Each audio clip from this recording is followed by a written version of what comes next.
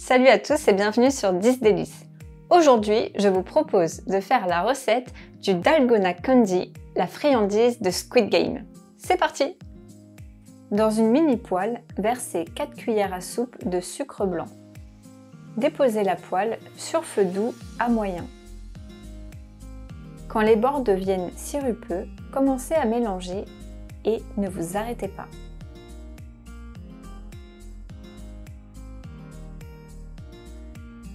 Écrasez les morceaux de sucre pour ne pas avoir de gros bouts à la fin. Éloignez la poêle du feu si besoin. Le caramel ne doit surtout pas brûler. Il doit garder une belle couleur marron clair et pas marron foncé. Sinon, la friandise aura un arrière-goût désagréable. Quand le caramel est bien liquide, éloignez légèrement la poêle du feu et ajoutez environ un quart de cuillère à café de bicarbonate alimentaire. Si vous en mettez trop, ce sera amer. Mélangez.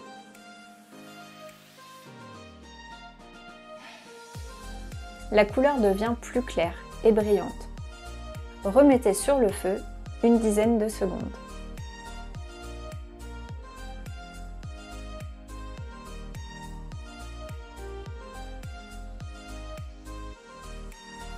Versez sur du papier sulfurisé.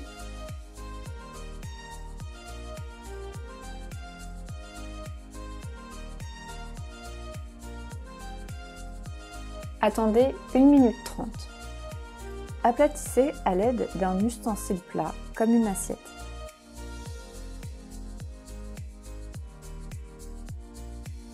Posez un moule dessus pour décorer avant que la friandise ne refroidisse si vous voulez une forme mieux dessinée, utilisez un moule rond et enlevez les bords par la suite.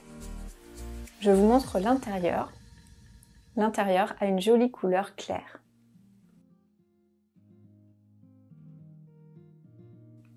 J'espère que cette recette vous a plu. Si c'est le cas, n'hésitez pas à vous abonner à la chaîne et à me laisser un petit commentaire. A très vite